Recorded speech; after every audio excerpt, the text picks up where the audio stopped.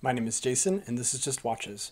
Okay, quick news segment for you today. I saw this new Casio Edifice EFV 140D 1AV pop up on Instagram this morning, and I got pretty excited due to the similarities it appears to share with the very popular Casio EFV 100D, which you can check out a review of on my channel. I'll pop a link up in the right hand corner now. So, this new version appears to have a really interesting dial with horizontal lines, a slightly sleeker handset, and more pronounced and triangular applied indices. It also appears to come in a number of colorways, including blue, black, and green. Unfortunately, from the spec sheet, it also appears this one will be larger larger in diameter. The size of the case is listed as 49.5 by 43.9 by 10.8 millimeters. The 43.9 measurement would be the case diameter, but I do know that Casio tends to include the crown in this measurement, so I'm thinking this will be closer to 42 millimeters in diameter. Now, there is still hope for a smaller version. When the 100D was released, it came in two sizes, a 40 millimeter case diameter, and then a smaller one, I believe it was 37 millimeters. So I'll be watching the Casio Edifice website closely to see if there will be a smaller one available. Either way, I'll be looking to pick one of these up